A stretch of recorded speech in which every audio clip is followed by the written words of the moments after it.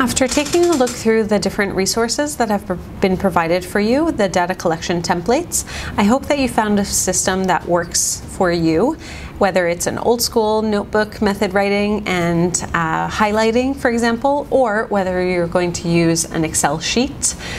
I hope that you have set up a system that is going to help you be most successful in moving forward with this process